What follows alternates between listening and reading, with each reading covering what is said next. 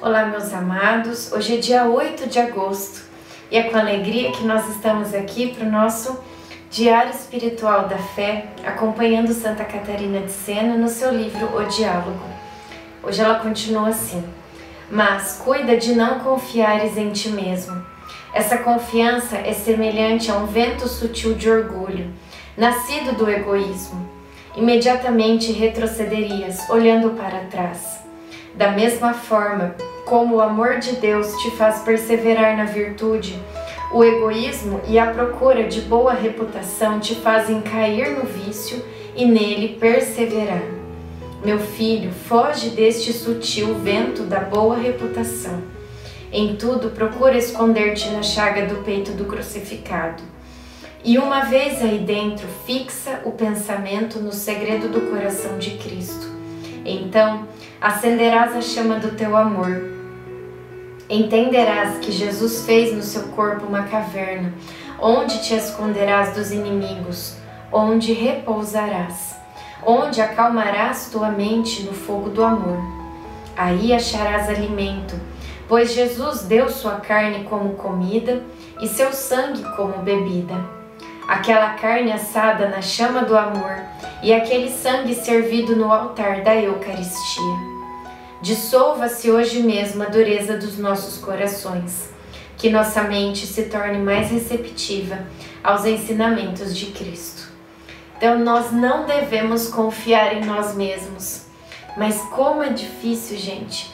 Porque quantas vezes a gente prefere confiar na gente mesmo do que confiar na ação de Deus? Quantas vezes a gente é teimoso e acha que deve fazer as coisas do nosso jeito e não de acordo com o que Deus quer para nós? Quantas vezes a gente deixa de confiar e desacredita que Deus pode tudo e Ele pode? Deus pode realizar o impossível na tua vida, Ele pode. Se Ele quiser, Ele faz isso aqui e o impossível acontece. Basta a gente ter fé.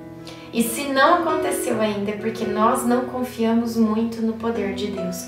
Nós não temos fé o suficiente. Nós duvidamos que Deus possa realizar aquilo que nós esperamos dele. Então é necessário confiança da nossa parte. É necessário que nós abramos o nosso coração e tenhamos realmente fé. Fé que o Senhor pode todas as coisas. Nós encerramos com o Pai Nosso, a Ave Maria e o Glória. Pai nosso que estais no céu, santificado seja o vosso nome. Venha a nós o vosso reino. Seja feita a vossa vontade, assim na terra como no céu. O pão nosso de cada dia nos dai hoje. Perdoai as nossas ofensas, assim como nós perdoamos a quem nos tem ofendido. E não nos deixeis cair em tentação, mas livrai-nos do mal. Amém. Ave Maria, cheia de graça, o Senhor é convosco. Bendita sois vós entre as mulheres, bendito é o fruto do vosso ventre, Jesus. Santa Maria, Mãe de Deus, rogai por nós, pecadores, agora e na hora de nossa morte. Amém.